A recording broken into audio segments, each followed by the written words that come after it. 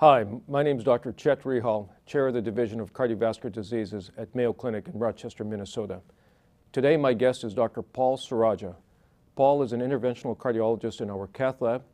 He directs the interventional training program and is a specialist in the evaluation and management of patients with hypertrophic cardiomyopathy, which is what we're going to be talking about today. Paul, welcome. Thank you very much.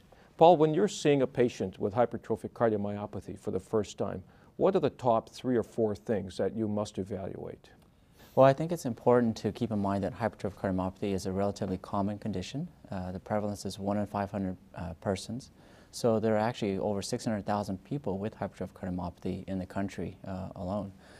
The um, most important aspects when we talk about evaluating hypertrophic cardiomyopathy is to look at several things. Um, symptoms in terms of uh, whether or not they are suffering from the typical symptoms of dyspnea, angina, or syncope.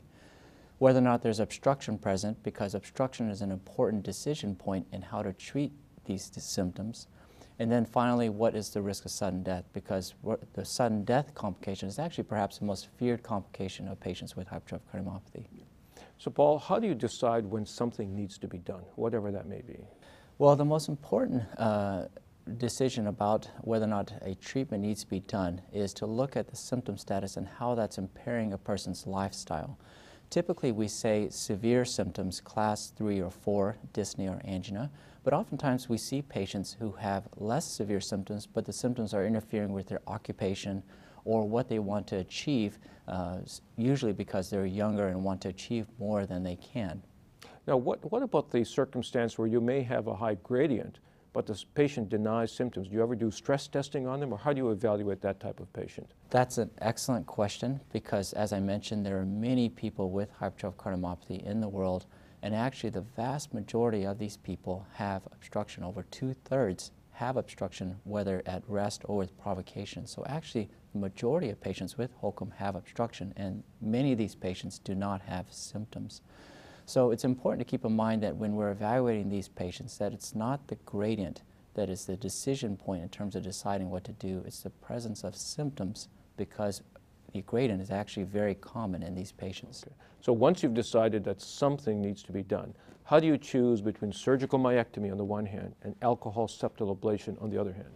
So in terms of septal reduction therapy, uh, when we've come to that point where a patient has severe symptoms due to obstruction, the two options we talk about are surgery and alcohol ablation. And I do think it's important to keep in mind that surgery is what we consider to be the gold standard therapy for these patients.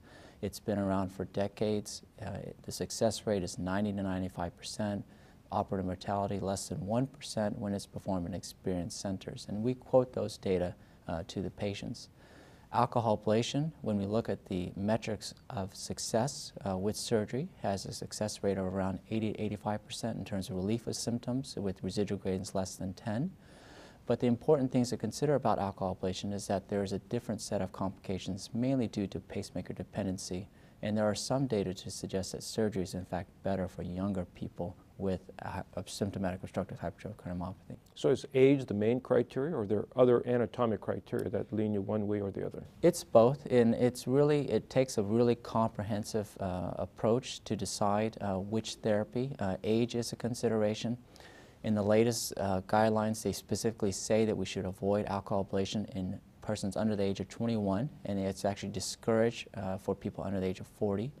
There's some data to suggest that uh, alcohol ablation is less successful in people who are young, but age is not an absolute contraindication. The other morphological issues are related to how thick the septum is, how high the gradients are, and whether or not the septal artery can be cannulated appropriately for the procedure. Now, to me, alcohol septal ablation seems like a relatively simple procedure. You inflate a balloon in the septal and squirt in some alcohol. Mm -hmm. Is this something that all interventionalists ought to be doing or should be doing, or why should it be restricted to, to centers uh, who specialize in this? Well, it's, it, it is a really good question because I think the initial enthusiasm for alcohol ablation was to be able to bring something uh, uh, to a broader population of symptomatic patients because surgical myectomy is not available in many, in many centers uh, around the country or around the world. But it's important to recognize that there are complications that are um, specific to the catheterization procedure, but also very specific to the alcohol ablation procedure itself. And there clearly is a learning curve. These patients are complex, they're heterogeneous, and the current guidelines do recommend evaluation of these patients in a center that is dedicated to the comprehensive and longitudinal care of patients with hypertrophic cardiomyopathy. How do you follow these patients following alcohol septal ablation or myectomy? Are there specific things we need to look for?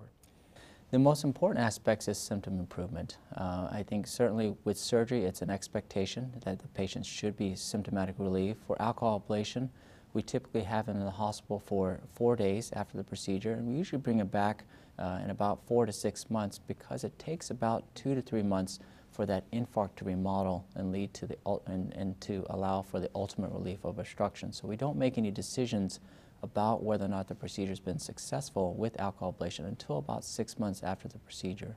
And then typically we follow them annually thereafter. And finally, Paul, which patients should get a prophylactic ICD?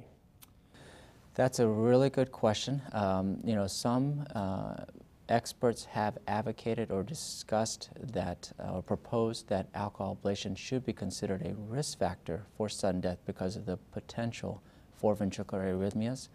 That has not made it into the latest algorithms and the latest guidelines. And so right now, the decision about ICD implantation is really based on conventional risk factors besides alcohol ablation. Such as?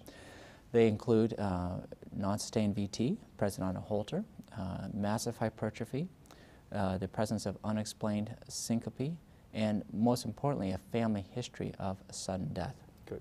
Paul, do, you, do we ever use genotyping to to uh, help guide evaluation and therapeutics in HOCM? Um, that's a very good question. So genotyping in the 1990s uh, was actually proposed as a potential way to help risk stratify uh, patients with hypertrophic cardiomyopathy. Unfortunately, it hasn't panned out uh, that way, and that's simply because these patients are so heterogeneous. For any group of malignant mutations, we could also find a group of patients who have a benign outcome.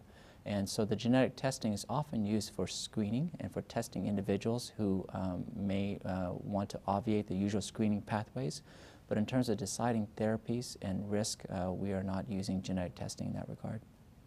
Our guest today has been Dr. Paul Sorajja from the Hypertrophic Cardiomyopathy Clinic, who in the past few minutes has given us a very nice, succinct overview of the evaluation and management of patients with hypertrophic cardiomyopathy. I hope you found it useful to you as you see patients with this condition. Paul, thank you very much. Thank you very much.